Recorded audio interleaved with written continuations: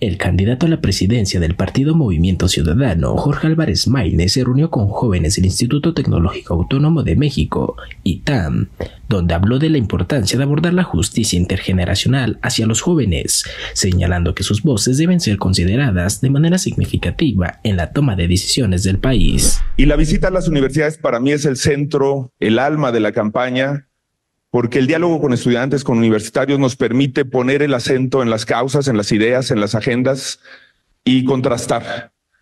Eh, nosotros queremos un diálogo directo, un diálogo con mexicanas y mexicanos que tienen cuestionamientos, críticas, preguntas y que quieren definir el futuro de su país. Y con una generación que no está en el centro de la toma de decisiones.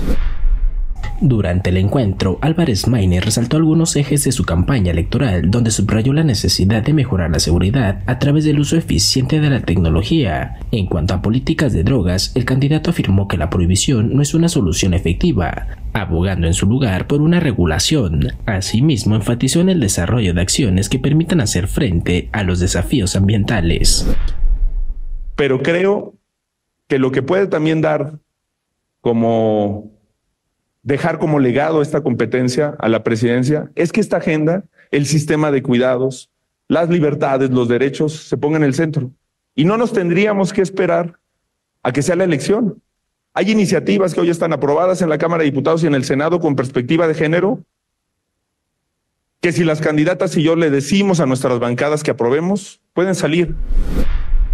Por último, Jorge Álvarez Maínez mencionó que algunos principales ejes de su campaña es la igualdad, abarcando temas de género, acceso equitativo a la educación y servicios básicos, así como el apoyo a pequeñas y medianas empresas y emprendimientos. Informó para Noti 13, Juan Morga.